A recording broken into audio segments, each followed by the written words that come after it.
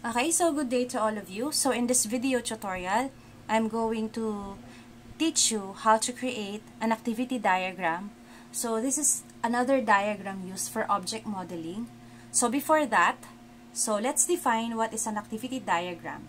So an activity diagram resembles a horizontal flowchart that shows the activities and events as they occur. So if we're going to create an activity diagram, we should already identified a context or situation where an activity diagram is applicable. So, for this tutorial, I'm going to use the same that documentation that I have used um, in the data flow diagram. So, my uh, documentation is online enrollment of a new student in a university where I graduated. So, this is again the uh, documentation. So, let's review again and the, uh, allow me to read the contents of the documentation. So, how to enroll online, 5 easy steps. So, log into the student portal. So, visit the office of the University Register or UR microsite, uh, which is indicated here, and click the Sign In to AIMS student portal icon located on the right side of the homepage or copy and paste this URL. And then, next, step number 2 is we have request for new password. So, click on the request for password link on the home page of the student portal and enter your student number. Check your email for the system-generated password. Use this password when logging in on the student portal. And then the next step, the third step will be, so the third step is number three. Click the online registration system or ORS link and select courses to enroll. So once logged in, click on the online registration system or ORS and then select the term and select the course. Select the courses by clicking the course name. For new students, refer to the recommended courses posted on the student portal or seek advice from your program chair. System automatically displays the assessment of fees once courses are selected. And then our fourth step is pay your fees and upload proof of payment. Pay your fees through your preferred payment facility. Get your copy of the bank validated slip or credit card transaction slip or official receipt. Upload a scanned copy or digital image of the payment slip to complete your enrollment. And then last but not the least, the fifth step is we have print your Form 5. Wait for the confirmation of your enrollment you can print your Form 5 as soon as your enrollment is confirmed. Students who pay their fees using the online payment option will receive an automatic confirmation of enrollment. So, this is our documentation. So, since we've already created diagrams based on this documentation, actually, it's easier if you've already identified the steps, important steps or processes. You can use it in our activity diagram. So, since I've already made a data flow diagram uh, level uh, 0 for it. So again, let's review our data flow diagram and then we can refer to the steps that we have identified in the DFD and we can use it in the activity diagram. So we have identified eight processes. So process 1 is open student portal. Process 2 is request for new password. And then process 3, log into student portal. Process 4 is open online registration system. And then process 5 is select courses. Process 6 is calculate assessment of fees. Process 7 is pay assessment of fees. And last but not the least, process 8 is print form 5. So this is our processes. So we have 8. So we can expect in our activity diagram, we also have 8 steps. Okay, so let's start our diagram. So we have Okay, so we have activity diagram. Okay, so let's have here we have start. Okay. So, for start, okay, since we, we have identified eight processes in our DFD, you can expect that we have um, eight activities for our activity diagram. We can first write the, um, actually the boxes inside will be the outcome and then the labels for the arrows are the conditions. Okay, so let's draw the okay so the first is open student portal. So you should have a subject. So student opens student portal. So this is our first okay first box and then another step is we have student request for new password. For new password. Okay. Another activity or rather outcome. And then we have three is we have student logs in to student portal. Okay. So, actually, this is the process tree. We just put um, a subject and then we have we have the open online registration system. So we have student opens online registration system. Okay so this is our steps. Okay, next is we have oh, select courses. So, student selects courses.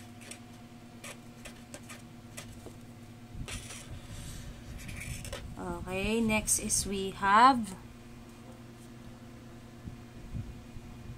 Okay, next is calculate assessment of fees. So, the system calculates assessment of fees.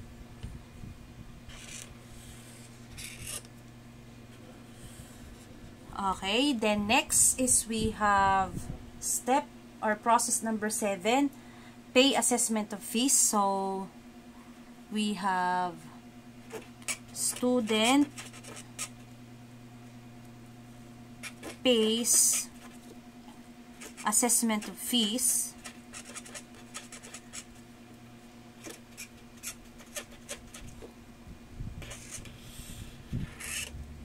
Okay. And then our last step, our eighth step is we have print form 5. So, student prints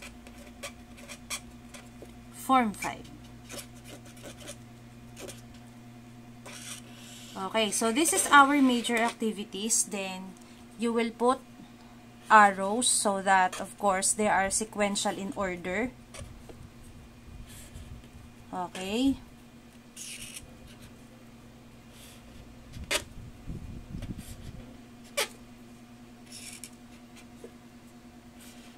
Okay, so we have 1, 2, 3, 4, 5, 6, 7, 8. So we have 8 activities. Okay, so we're going to label the arrows for each of the uh, going from one activity to another. So, um, imagine for activity diagram, okay, this is imagine the if and then statement. So these activities here are the then statements or the outcome. So for arrows, you're going to think of the if so that this outcome will happen. So for student open student portal, why does the student need to open student portal? So we can put so student okay student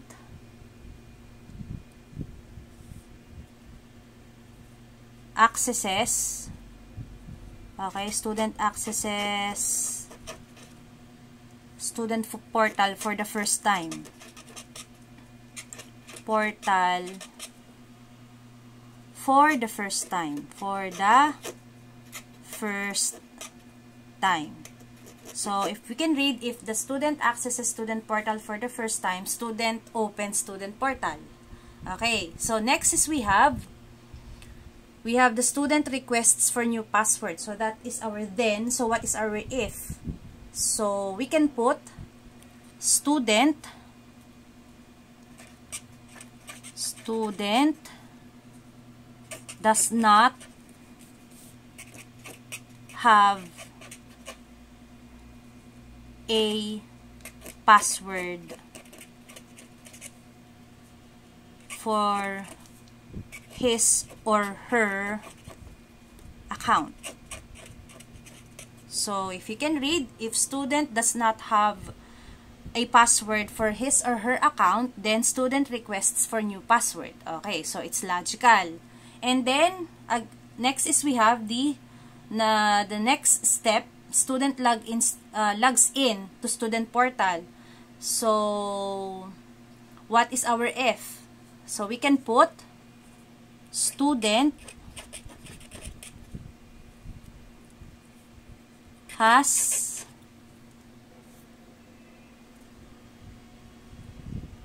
has already set has already set a new password. So again, if you can read uh, the if and then, if the student has already set a new password, then the student logs into the student portal. Okay. Then, our next is student opens online registration system. So, why do you want to open the um, online registration system? Because student needs to enroll needs to enroll or needs to enroll courses. Okay. So, if student needs to enroll courses, then student opens the online registration system. And then after opening the online registration system is we have student selects courses. So this is our then. So what is our if? If we can remember the documentation that we have read, it is said here that before you select the courses is you have to select the term because in the In the documentation, select the term and, and select courses by clicking the course name. So, okay, if the if students select courses, okay, and rather, uh, this is the then. So, student selects term. Okay. So, if the student selects the term, Okay, selects the term. Then, the student select courses. Okay. Okay, we can add student selects the term and course name. Okay, let's add course name. Okay, if the student select, again, if the student selects the term and course name, then the student selects the courses. Okay, so we're finished here. And then the next is the system calculates assessment of fees. So, what will be the uh, if for this, the, the system calculates assessment of fees? So, we can add, so, the system accepts the courses selected. Okay, so we have, again, let's read the if and then. If the system accepts the courses selected, then the system calculates assessment of fees. Okay, so next is we have student pays assessment of fees. So what will be its its if statement? So student selects preferred payment payment facility. Because based on the documentation as you can see with our step number 4 is we have pay your fees through your preferred payment facility. So again if student selects preferred payment facility then student pays assessment of fees and then our last step here in our activity diagram is we have student prints form 5. So you can only print form 5 as, as, uh, as indicated. Wait for the confirmation of your enrollment. So we can put here as, so, okay, the system confirms payment to confirm enrollment. So, you'll only be uh, fully enrolled or your enrollment will be confirmed once you've the payment is confirmed by the system.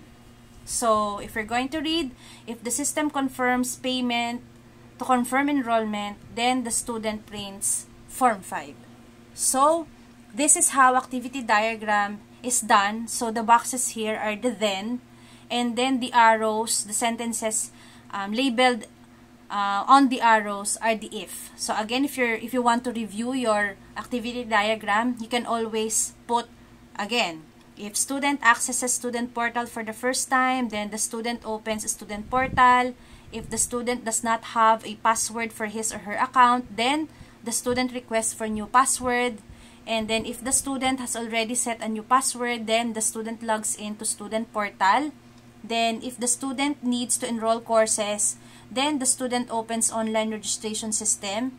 And then, if the student selects the term and course name, and then the student selects courses, and then, if the student, uh, rather, if the system accepts the courses selected, then the system calculates the assessment of fees.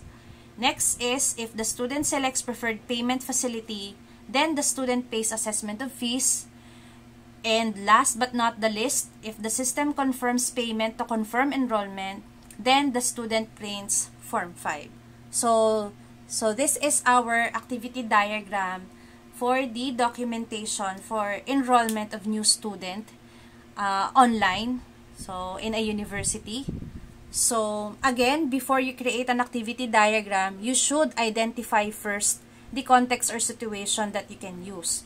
Um, it's very lucky if you already done it uh, the, the context or situation to other diagrams but if if you still didn't um, didn't identify the steps or processes yet of course you have to analyze the documentation. So again uh, the activity diagram can rely on other diagrams. Example for the data flow diagram to the processes and then make it as a steps of course. The only difference is that in the box in, in the boxes uh, this should be in sentences.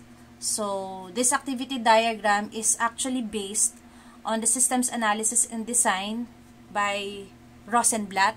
So actually there are also many um, uh, notation or many activity diagrams that have different symbols but then um, they are just the same there are uh, presenting of course the activities and events as they occur. So if you do have any questions, so please free to comment below. And then I hope that you have learned something from this video tutorial. So um, thank you very much for listening. And then I hope that I'm going to see you again in uh, my other video tutorials. And please don't forget to subscribe to my YouTube channel. So again, thank you very much and good day.